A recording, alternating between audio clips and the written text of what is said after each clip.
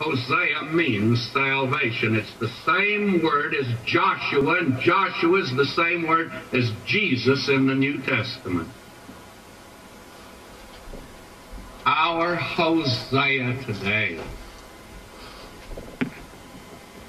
is joined to a spiritual harlot.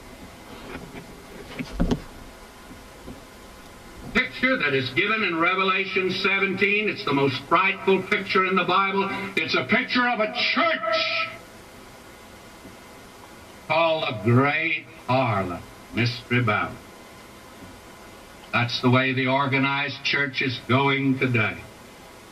Oh, how many this morning are covering up their frustration, their lack of spiritual experience today, the reality, by just being busy. It's merely nothing in the world but just nervous agitation. Down underneath, they cannot say, I love him, I'm true to him.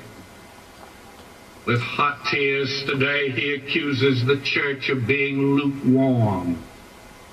God pity the man married, the lukewarm woman. God pity our Savior today, joined to a church that's just lukewarm.